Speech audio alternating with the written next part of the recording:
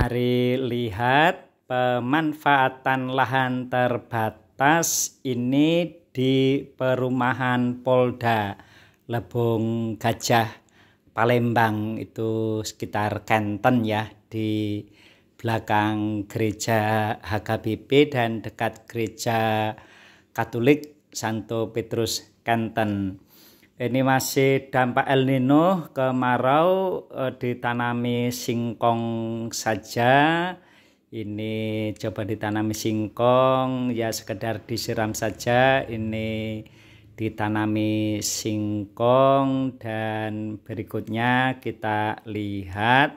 Selain singkong juga ditanam ini aneka pisang ini di sini ditanam pisang kepok dan pisang lilin.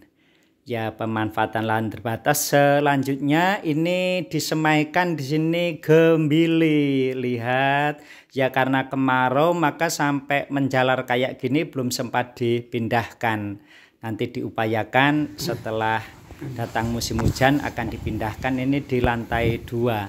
Uh, kita lihat itu nampak ya sudah terlambat sebenarnya tapi ya apa boleh buat kemarau tertahan sampai sekian ini. Nanti dicoba dipindahkan ke lahan terbatas tadi. Ini dia yang ngopeni gembili.